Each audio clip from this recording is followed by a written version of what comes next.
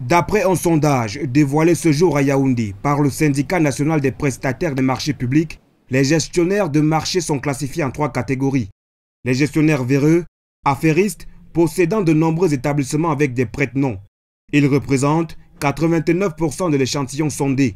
Ici, 24% des bons de commande sont vendus avant le lancement du budget et 18% des bons de commande ne sont pas livrés mais payés. La deuxième catégorie est celle des gestionnaires indignes. 2% de leurs livraisons sont fictives mais payées. C'est le tribalisme qui dicte le train d'action et les choix de ces derniers. Et puis, les gestionnaires loyaux qui représentent 3% seulement du fruit de ce sondage. Une situation que déplore le syndicat. Nous avons constaté qu'il y a beaucoup de dérives dans le secteur des marchés publics. C'est ce que nous essayons de décrire. Et nous avons dit depuis que nous avons commencé cette sensibilisation, que à un moment, nous allons traverser l'étape de, la sensibilisation pour monter d'un cran.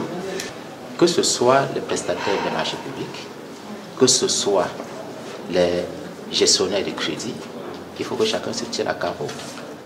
Pour mener à bien cette réflexion, placée sous le sceau de la sécurisation et la protection de la fortune publique, dans le cadre de la gestion de la commande publique pour un Cameroun émergent, les syndicalistes ont reçu l'onction du Conseil supérieur de l'État.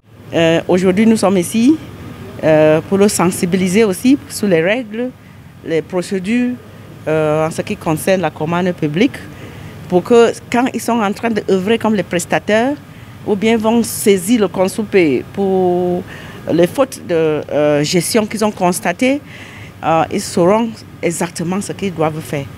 Les travaux de ce jour se tiennent au moment où les prestataires de services se plaignent du dysfonctionnement dans le domaine, surtout en ce qui concerne son volet bon de commande et la passation des marchés de gré à gré par les gestionnaires accrédités.